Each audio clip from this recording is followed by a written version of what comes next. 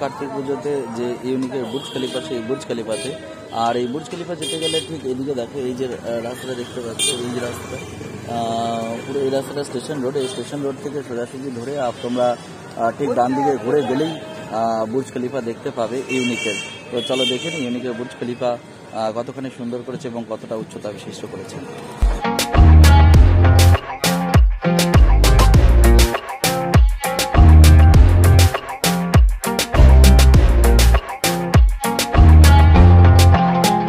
বর্তমানে আমি এখন এসে উপস্থিত হয়েছি ইউনিক ক্লাবে ইউনিক ক্লাবের বুর্জ খলিফার কাজ প্রায় কমপ্লিট এবং প্রায় সম্পূর্ণ হয়ে গেছে।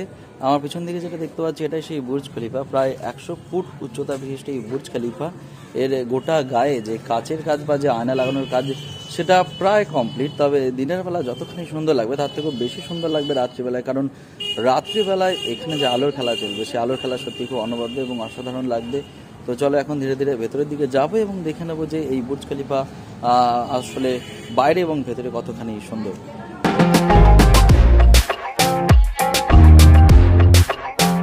বুর্জ খলিফা যেটি বানানো হয়েছে, সেখানে প্রত্যেকটি ধাপে ধাপে প্রজেক্টর লাইট দেওয়া আছে, যে লাইটগুলো সম্ভবত রঙিন লাইট হবে এবং এই লাইটগুলোই রাত্রেবেলার বেশ সৌন্দর্য ফুটিয়ে তুলবে।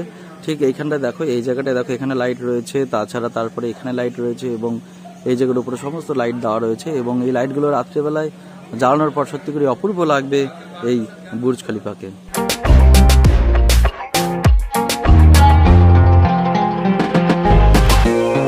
এখানে এখনও কিন্তু প্যান্ডেলের বাইরে, অর্থাৎ যে কাজটা যে এখনও সম্পূর্ণ হয়নি, কাজটা এখনও প্রসেসিং রয়েছে বা কাজটা এখনও যে চলছে, তা এখনও এখানে বাসগুলো কিন্তু লাগানো আছে প্যান্ডেলের সামনেই।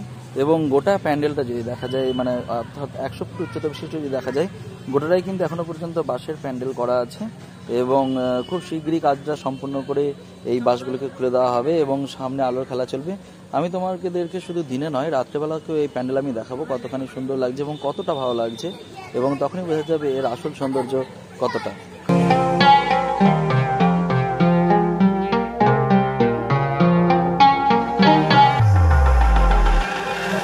এরপর ধীরে ধীরে মণ্ডপের পিছন দিকে যাব, অর্থাৎ যেখানে প্রতিমা রাখা হয়েছে। তো প্রতি বছর এখানে কিন্তু মা কালীর মূর্তি করা হয়। তো চলো দেখে নিই এবছরও কি করা হয়েছে।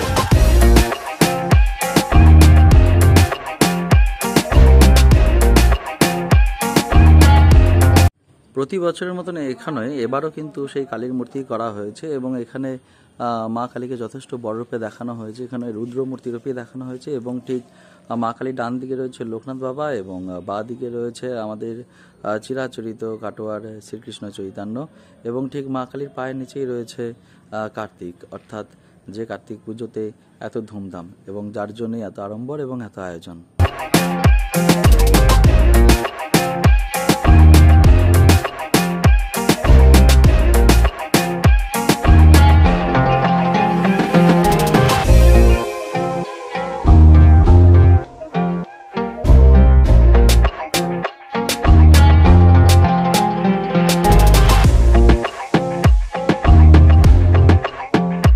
মণ্ডপের ডান দিক দিয়ে প্রবেশ এবং বাঁ দিক দিয়ে এক্সিট রয়েছে এবং এখানে কিন্তু ভেতরে যাওয়ার পরেই কিন্তু প্রতিমাকে দর্শন করা যাবে এবং মণ্ডপটি যেখানে যার উপর নির্মিত হয়েছে সেটা সম্পূর্ণই বুর্জ খলিফার এবং এই বুর্জ খলিফাটি সত্যি করেই খুব ভালো। এখানে আশেপাশে যদিও কোনো কেউ নেই কথা বলবার মতন, তবুও এখানে অনেকেই বেশ ঠাকুর দেখতে এসেছে এবং সেটা দেখে বেশ ভালো লাগছে। তো যাই হোক, এখানে এই ভিডিওটি কারা কারা দেখলে তারা অবশ্যই ভিডিওটিকে লাইক করো, চ্যানেলটিকে সাবস্ক্রাইব করে পাশে থেকো এবং ভিডিওটি কেমন লাগল সেটি জানিও, কমেন্টে জানিও এবং এরপরে আরও নতুন নতুন ভিডিও দেখবার জন্য পাশে থেকো। এখনকার মতন টাটা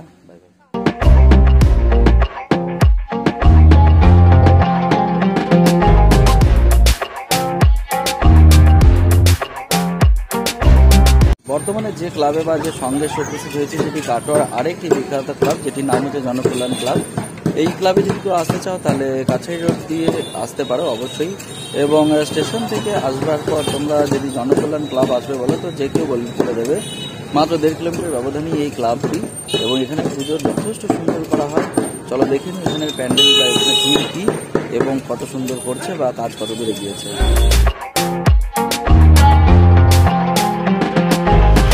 প্যান্ডেলের ঠিক সামনে এসে আমি উপস্থিত হয়েছি এখন বর্তমানে। তো দেখা যাচ্ছে যে এখন পর্যন্ত এখানে শিল্পীরা কিন্তু কাজ করে চলেছে। অর্থাৎ যে দর্শকরা যে ভেতরে ঢুকবে, তার জন্য যে সিঁড়ি তৈরি করার কাজ, সেই সিঁড়ি তৈরি করার কাজ কিন্তু এখনও চলছে।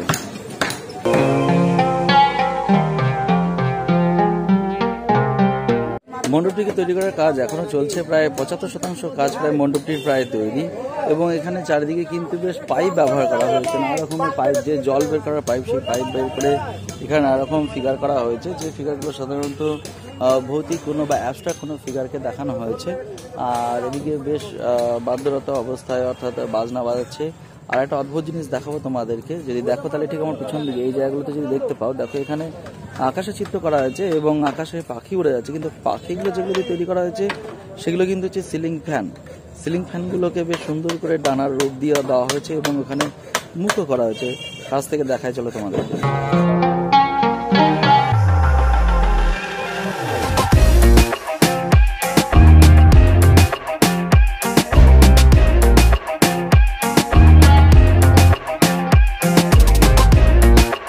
মণ্ডপটি তৈরি করার কাজ এখনও চলছে ঠিক আমার পিছন দিকে, যেখানে নীল পর্দাটি দেওয়া আছে। এখানে কি ঠাকুরকে বসানো হবে অর্থাৎ মূর্তিকে বসানো হবে, কার্তিককে? এবং চারিদিকে যদি দেখা, এখনও প্যান্ডেলের কাজ সম্পূর্ণ হওয়া অনেকটাই বাকি। শুধুমাত্র কালকের দিনটা পেরোলেই কিন্তু কার্তিক পুজো অর্থাৎ পরশু দিন। তার আগে এই প্যান্ডেল প্রস্তুতির কাজ কিন্তু জোর কদমে চলছে। দিন রাত ধরে খেটে কিন্তু শিল্পীরা এখানে প্যান্ডেলগুলোকে তৈরি করার চেষ্টা চলছে।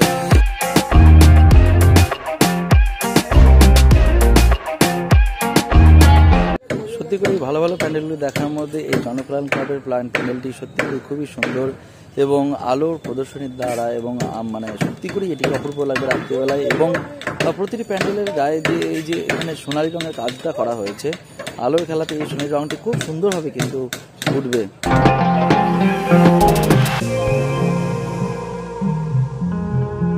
এখানে কিছু বল্লম রাখা হয়েছে, এই বল্লমগুলো প্যান্ডেলটাকে সাজানোর জন্য ব্যবহার করা হবে। এছাড়া এখানে প্রচুর কাপড় রাখা আছে। এই কাপড়গুলো সবগুলি এক একটা করে প্যান্ডেলের গায়ে লাগবে।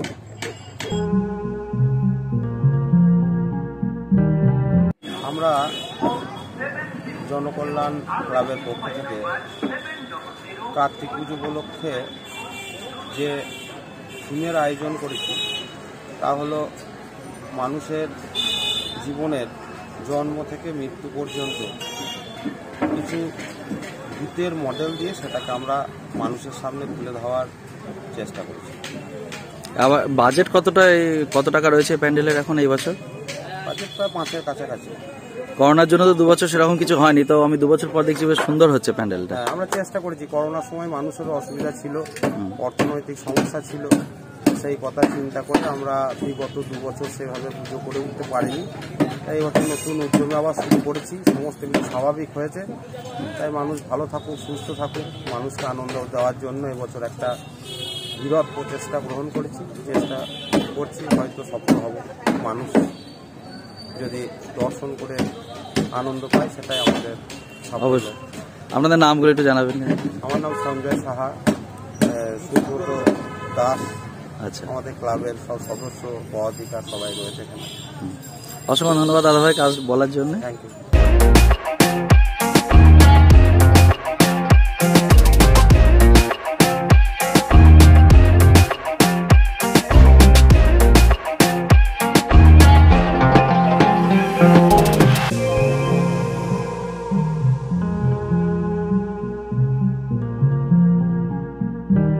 তো কারা কারা এই ভিডিওটি দেখছ, তারা অবশ্যই কমেন্ট করে জানাও। কাটোয়া থেকে যারা দেখছ, বিশেষ করে তারা অবশ্যই কমেন্ট করো, ভিডিওটিকে লাইক করো, এবং চ্যানেলটিকে যদি ভালো লাগে থাকে, তাহলে অবশ্যই চ্যানেলটিকে সাবস্ক্রাইব করে আমার পাশে থাকো।